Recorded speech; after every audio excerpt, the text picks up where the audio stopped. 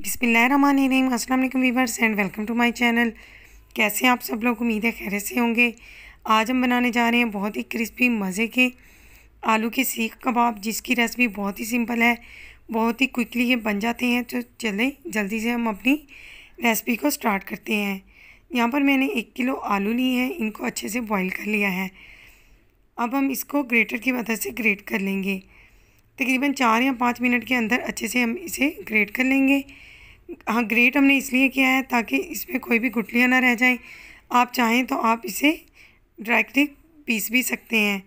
तो मैंने इनको ग्रेट किया है तो आप भी ग्रेट करेंगे तो ये ज़्यादा बेहतर रहेंगे। इसके बाद बारी है स्पाइसेस की।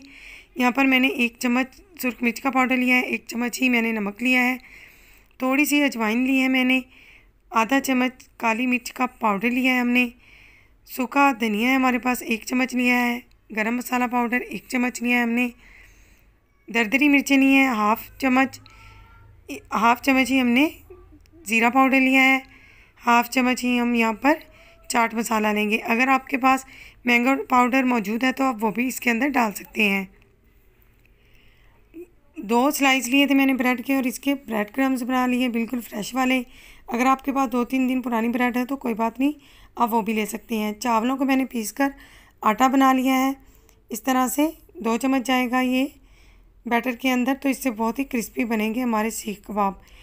आलू अच्छी तरह से हमने मैश कर लिए हैं तो इसके अंदर तमाम स्पाइसेस जो है, हम इसके अंदर ऐड कर देंगे। थोड़ा सा प्याज लेंगे, इसे बारीक काट लेंगे, इसका पानी हम निचोड़ लेंगे और वो भी इसके अंदर हम शामिल करेंगे तो बहुत ही क्रिस्पी से हमारे सीख कबाब बनेंगे। अब बारी हमारी ब्रेड क्रम्स की ऐड करने की तो हम इसको डाल देंगे ब्रेड क्रम्स ऐड करने से ये क्रिस्पी हो जाएँगे और हमें अंडा या कोई और चीज़ लगाने की ज़रूरत नहीं पड़ेगी। चावल का आटा भी हमने इसलिए डाला है कि ये बहुत ही क्रिस्पी से बने। अब हाथों की मदद से हम इसका बैटर तैयार कर लेंगे। अच्छी तरह से बैटर तैयार करने करेंगे ताकि जो तमाम स्पाइसिस हैं, वो अच्छी तरह से मिक्स हो जाए। अब हम इसमें थोड़ा सा हरा धनिया ऐड कर देंगे। आप चाहें तो हरी मिर्चें भी ऐड कर सकते हैं।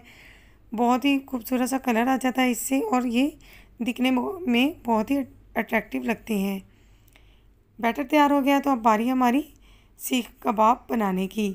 अगर आपके पास सीख कबाब बनाने वाली स्टिक मौजूद है तो आप इसे यूज़ कर सकते हैं। नहीं तो इस तरह से हाथों की मदद से इसे गोल कर लें और घर में मौजूद किसी भी पेंसिल को ले लें और इस तरह से सीख कबाब बनाते जाएँ। पेंसिल के ऊपर हम बैटर को लगा देंगे लंबाई में। लगाएँगे और लंबे सीख कबाब बनाते जाएँगे। हाथों की मदद से इसकी शेप को एडजस्ट कर लेंगे ताकि एक प्रोफेशनल सी लुक आ जाए। अब पेंसिल से इसको निकाल लेंगे और ट्रे में रखते जाएँगे। इसी तरह से सारे कबाब हम बनाते जाएँगे और ट्रे में रखते जाएँगे।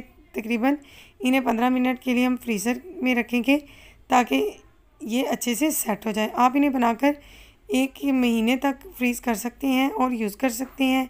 जब आपको चाहिए हो, इनको शैलो फ्राई कर लें। अब हम एक पैन में या कढ़ाई में कुकिंग ऑयल को गर्म कर लिया है और बारी बारी कबाब को रखते जाएँगे। शैलो फ्राई करना है हमने, आप इन्हें लाइट फ्राई भी कर सकते हैं। दो तरह से मैं कबाब को फ्राई करूँगी, एक डार्क फ्राई करूँगी और चंद कबाब को मैं लाइट सा फ्राई करूँगी।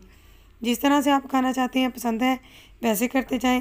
अब हमारी निचली साइड पक चुकी है तो हम इसे दूसरी तरफ़ पलट देंगे। बैटर हमारा पहले से ही पककर रेडी हो चुका था, कच्चे वाला नहीं था तो हमने जस्ट इसे कलर ही देना है। माशाल्लाह से बहुत ही खूबसूरत, ज़बरदस्त था, कलर आ गया है। अगर आपको वीडियो पसंद आई है तो जल्दी से वीडियो को लाइक कर दें। चैनल पर नए हैं तो सब्सक्राइब कर लें, साथ दिए बेल आइकन को प्रेस करें, ताकि मेरी हर नई वीडियो का नोटिफिकेशन आपको बर वक्त मिल सके। मिंट सॉस के साथ आप इसे सर्व करें। देखिए, मैंने चंद कबाब जो है, इनको डार्क डार्क ब्राउन किया है, और थोड़े से कबाब को मैंने लाइट सा ब्राउन किया है। अगर आपको रेसिपी पसंद आई है तो अगेन एक लाइक कर दें। मिलते हैं इंशाल्लाह ताला किसी अच्छी सी रेसिपी के साथ। तो में मुझे याद रखिएगा। अल्लाह हाफिज़।